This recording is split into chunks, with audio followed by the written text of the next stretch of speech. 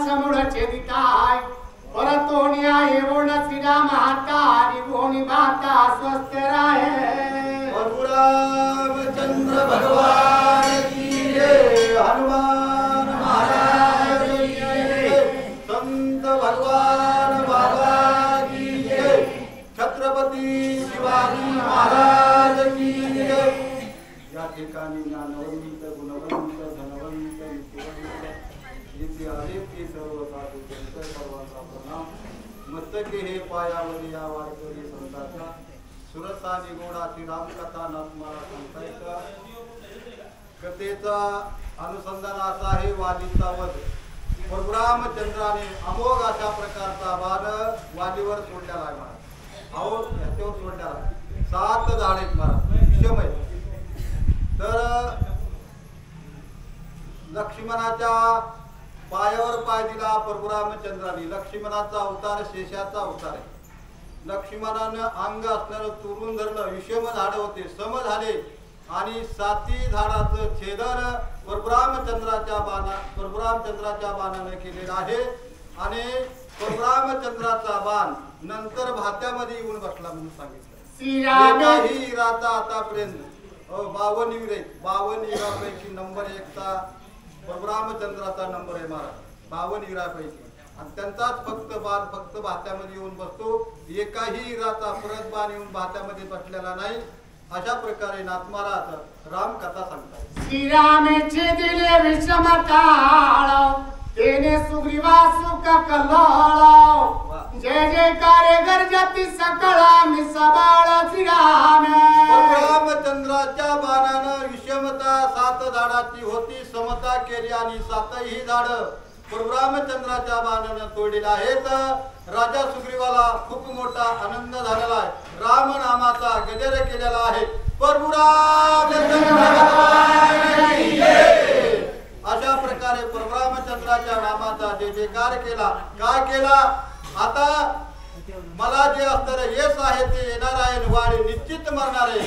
म्हणून परशुरामचंद्राच्या नावाचा जय जयकार करून राजा सुग्रीवाला खूप मोठा आनंद झालेला आहे. विषमता राम दृष्टी होय समताय. विषमताळ श्रीराम छिदिता सुख समजता कपिकुळा अहो, आतापर्यंत भीती होती राजा सुग्रीवाला हे सात झाडाचे ताड विषम हे कुणाच्याने शक्य नव्हतं. तोडणं शक्य नव्हतं. खूप मोठी भीती होती. परशुरामचंद्राच्या दृष्टीमध्ये त्या विषमताला समता आली. त्या झाडाला समता आली आणि एकाच बाणामध्ये परशुरामचंद्रानं सातही वृक्ष तोडून टाकलेले आहेत. म्हणून राजा सुग्रीवाला खूप मोठा धीर आलेला आहे आणि आनंद झालेला आहे. राजा सुग्रीवाला वाटलं निश्चित आता वाढी मरेल.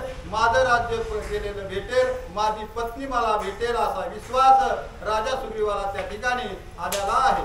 श्रीरामा सुख संपत्ती श्रीरामा निज विश्रांती श्रीरामा साह्यार्थ निज संगाती श्रीराम. हो राजा सुग्रीव म्हणू लागलेला आहे. श्रीरामामा सुख संपत्ती श्रीरामामा विश्रांती. परशुरामचंद्रामुळे आम्हाला सुख भेटू लागलेलं आहे.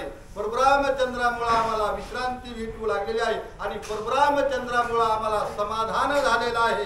आतापर्यंत राजा सुग्रीवाला समाधान नव्हतं मला राज्य गेलं पत्नी गेली. एक दीड एकर वावरण पत्नी नाही हो महाराज आपली. हो येडच लागते. राजा सुग्रीवाचं राज्य होतं आणि पत्नी होती. अशा प्रकारचं राज्य गेलेलं होतं. म्हणून राजा सुग्रीवाला विश्वास आला. हे सम विषम झाड होते. सातही परशुरामचंद्रानं तोडले. आता राज्य येण्याची आणि पत्नी येण्याची शक्यता आहे. म्हणून राजा सुग्रीवाला खूप मोठा आनंद झालेला आहे. श्रीरामा जीवलग सोयरा श्रीराम निजात्मा वानराय श्रीराम स्वामी चरा चरा वंद सुरवरा श्रीराम. श्रीराम आम्हा निज सोयरा. आमचा सोयरा. नवे नवे सगळ्याचा सोयरा महाराज.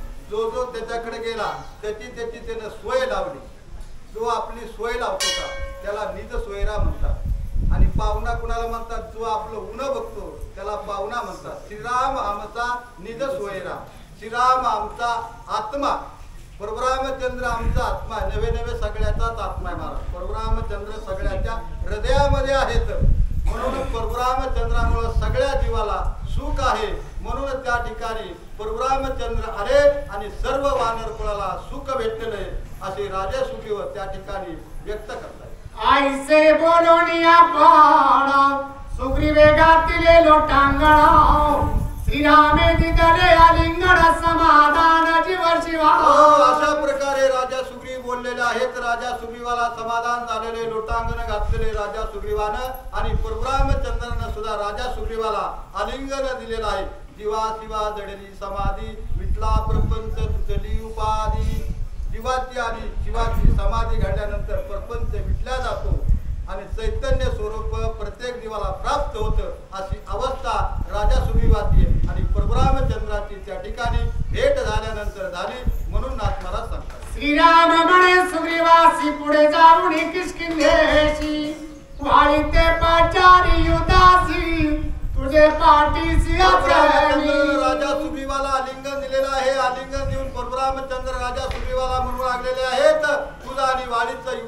आहे. सहा सहा महिन्याला.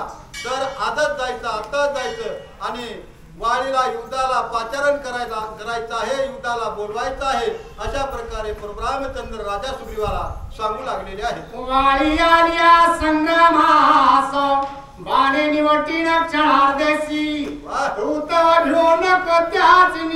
त्याच युद्ध करी संशयशी युद्ध करी. वाळी तुझ्या बरोबर युद्धासाठी आला. एकाच वाणामध्ये त्या वाळीला संपून टाकेल हा तुला संशय असेल. अजिबात मनामध्ये संशय घ्यायचा नाही. एक बाण सोडणार आणि वाळीला संपून टाकणार.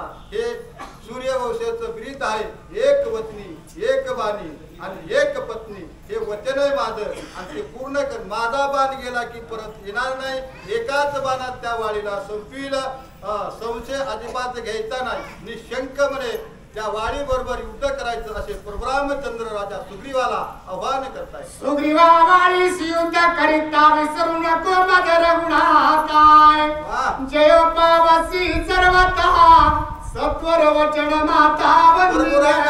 राजा सुग्रीवाला सांगितलं वाळी बरोबर असताना मला विसरायचं नाही. माझं नामस्मरण तुझ्या मुखामध्ये राहिलं पाहिजे आणि माझं नामस्मरण तुझ्या मुखामध्ये असलं तुझा देयच झाल्याशिवाय राहणार नाही असे परशुरामचंद्र राजा सुग्रीवाला सांगू लागलेले आहे आईसे सांगता श्री रघुवीर सुग्रीवे केला कौतुक